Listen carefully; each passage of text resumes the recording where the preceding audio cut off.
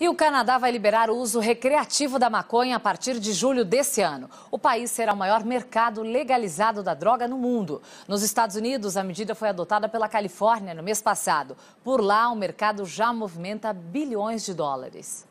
Parece uma perfumaria de luxo, cheia de produtos em embalagens com design moderno, sofisticado.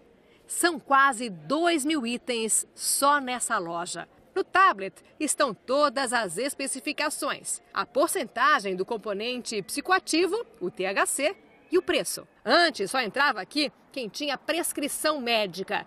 Agora é só mostrar a identidade. Tem que ser maior de 21 anos. Dustin veio pela primeira vez, estava curioso e comprou um óleo de cannabis que ouviu vários atletas falarem que é um bom anti-inflamatório kind of performance, high performance. Daniel foi criado no Brasil e hoje é vice-presidente de comunicação desta, que é a maior empresa de plantação e venda de maconha dos Estados Unidos. Ele nos conta que desde 1 de janeiro, quando o uso recreativo foi liberado na Califórnia, as vendas mais do que quadriplicaram. Ano passado, 2017, a gente dobrou o número de, de operações número de empregados, a gente começou em 2017 com 79 empregados e a gente fechou 2017 com 295 empregados. Essa abertura do mercado deve movimentar só aqui na Califórnia cerca de 7 bilhões de dólares por ano.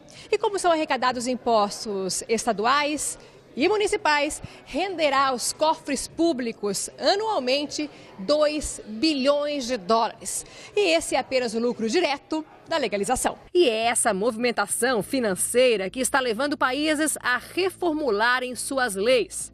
O Canadá será o próximo. Desde 2014, o uso medicinal já é liberado no país. E em julho deste ano, deve ser aprovado o uso recreativo. O mercado canadense da cannabis hoje movimenta 2 bilhões de dólares e deve saltar para 8 bilhões. As estimativas dizem que, se contabilizado todo o mercado auxiliar, pode passar de 22 bilhões de dólares por ano.